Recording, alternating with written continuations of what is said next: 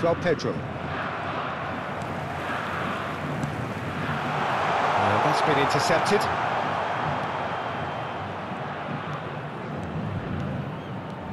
It's a good run down the right. Gremio have a free kick. And the referee has shown him a yellow card.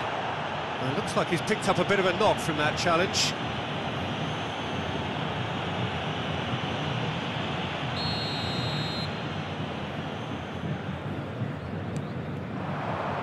Joao Pedro. Neymar. Niceties are not part of... It's Neymar! And it's there! And the lead is three! It is surely done!